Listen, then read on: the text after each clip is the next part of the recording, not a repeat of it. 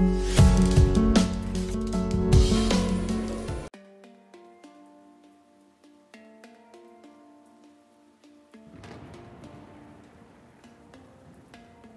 अवी मैदान में तुर्की के उठाए गए इकदाम और उसकी आज़ाद खारजा पॉलिसी ने अमरीकी मैगजीन को परेशान कर दिया। अमरीका में शाये होने वाले मैगजीन, वॉशिंगटन एग्जीमेनर ने तुर्की के हवाले से एक मकरू तजिया शाये किया है। बैन अवी फोरम पर तुर्की की जानब से उठाए गए इकदाम के बाद। अमरीका की जानब से एक तहलका खेज तजिया सामने आया है ये स्कैंडल वाशिंगटन एग्जीमेनर है, जिसने इससे कबल भी ऐसे ही इश्तियाल अंगेज मजामी शाये किए हैं।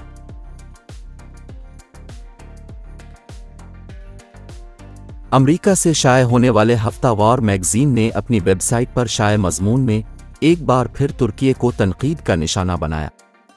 अमरीकन मैगजीन तुर्की मगरब का दोस्त नहीं है के उनवान से मजमून शाये किया।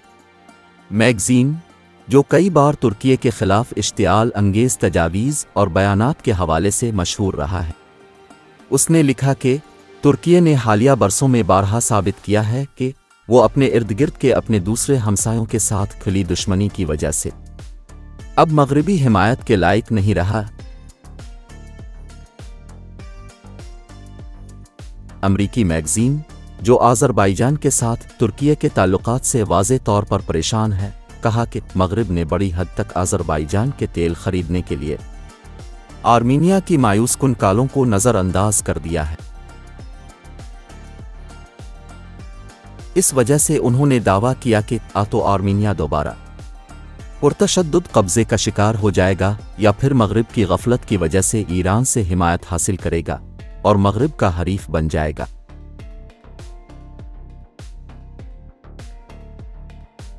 वॉशिंगटन एग्जामिनर ने कहा है कि हमारा नेटो इतिहादी दोस्त यूनान भी तुर्की की पुरतशद धमकियों से महफूज नहीं है और दावा किया कि यूनान को भी खतरा लाक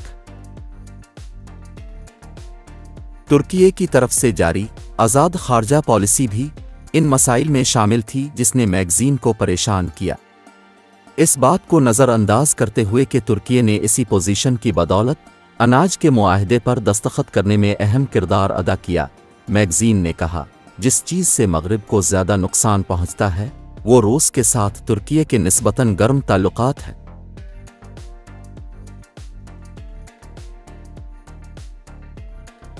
नेटो, यूक्रेन पर रूस के साथ पराक्सी जंग लड़ रहा है जबकि तुर्की इस मुल्क के साथ मामूल के ताल्लुकात बरकरार रखे हुए है।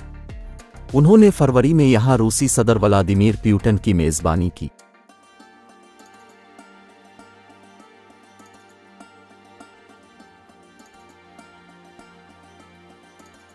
तुर्की नेटो की सख्त पाबंदियों के बावजूद, रूस से खाम तेल की खरीदारी जारी रखे हुए है।